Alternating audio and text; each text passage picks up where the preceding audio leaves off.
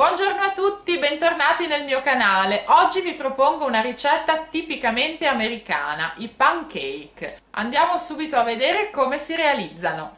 Gli ingredienti che ci serviranno per preparare i pancake sono 250 g di farina, 2 cucchiai di zucchero, 20 g di burro, 330 ml di latte, un uovo e 2 cucchiaini di lievito per dolci. Una volta aggiunto burro fuso e latte dovrete mescolare il tutto fino ad ottenere un impasto di questa consistenza. L'impasto deve essere così, fate attenzione che non si formino dei grumi e una volta che avrete raggiunto questa consistenza potrete andarlo a cuocere. Per cuocere i pancake vi servirà una padella antiaderente come questa che andrete a preriscaldare leggermente.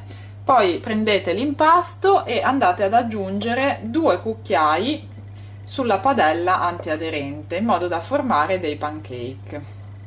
Una volta messi sulla padella antiaderente non dovrete far altro che attenderne la cottura. Lo facciamo insieme. Ve ne faccio vedere uno, poi il procedimento è uguale per tutti.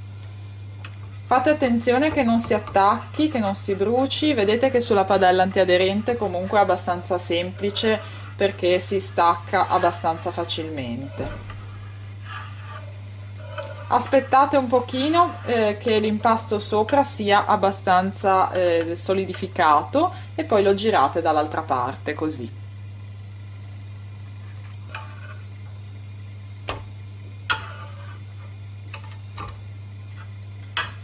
A questo punto il pancake è pronto lo potete andare a togliere dalla padella e trasferire in un piatto.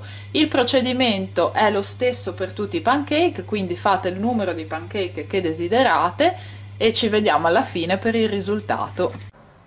Questo è il risultato finale, questi sono i nostri pancake pronti, potete andare a mettere lo sciroppo d'acero se vi piace oppure condirli in qualsiasi altro modo con delle marmellate, della Nutella, insomma come volete. La tradizione dice sciroppo d'acero e quindi io andrò a mettere dello sciroppo d'acero. Io spero che questo tutorial vi sia piaciuto, vi ricordo di iscrivervi al canale se ancora non l'avete fatto, mettete un like al video se vi è piaciuto, vi do appuntamento alla prossima e vi mando un bacio enorme.